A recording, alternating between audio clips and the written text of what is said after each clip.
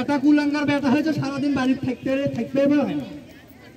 কি হয়েছে আব্বা? এত চেঁচামেচি করিচ্ছাও কে? আরে বেটা তুই কোনটি থাকে সারাদিন ক্যামেরা না আড়াত করলেও তো হয়। বন্ধুদের সাথে একটু আড্ডা দিচ্ছিলাম। সারাদিন বন্ধুদের সাথে আড্ডা দিলেই হবে। ঢন ঢন করে তো খালি বড় হয়ে যাচ্ছ। কি হয়েছে? আরে বেটা তুই দেখিস না মাথার কোনো বুদ্ধি জ্ঞান তোর নাই। ওই দিকে রহিম চাচার বেটার কি আছে জানিস? কি হয়েছে? ডেঙ্গু জ্বর হচ্ছে ডেঙ্গু জ্বর। আজ দেখে কপের ভিতরে দেখে কতটি পানি জ্বর হয়ে আছে।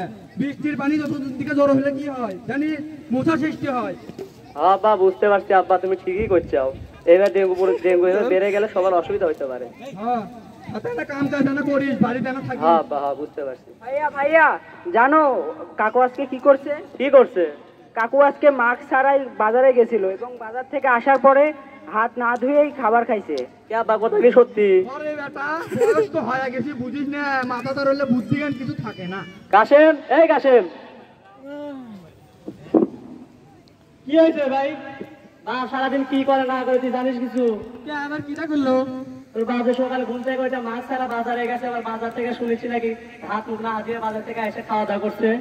আব্বা, ভাই, আপনি এটা কথা করেন না। আব্বার আমি কতবার করে বুঝাই। সে আমার কথা শুনেই না। তার আমি বলি যে, বাজার আর তার যাওয়ার দোকানে আমি যাই না। সে বলে যে, তার নাকি আমি বাড়িতে আটকে রাখি। আপনি বুঝাই দেন ভাই, আমি খুব বলে শুনেই না আমার কথা। দেখেন আব্বা, এখন করোনা পরিস্থিতি খুব একটা ভালো না।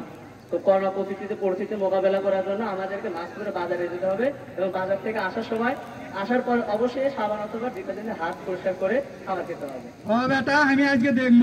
মাস্ক পরে মাস্ক পরে তো থাকতে পাই না তাও মাস্ক পরে দেখব নি কেঙ্কা লাগে। হ্যাঁ বা চেষ্টা করি। হ্যাঁ মাস্ক পরে এখন থেকে তাহলে বাজারত যাব। আপনাদের সবাইকে একটা অ্যানাউন্স আপনারা সবাই ডেঙ্গু মহামারী সম্পর্কে অবগত আছেন। তো ডেঙ্গু একটা খুবই ভয়াবহ একটা রোগ যার কারণে আমাদের অনেক মৃত্যুবরণ করে। আর করোনা মহামারী সম্পর্কে সবাই অবগত আছেন যেটা না বললেই না।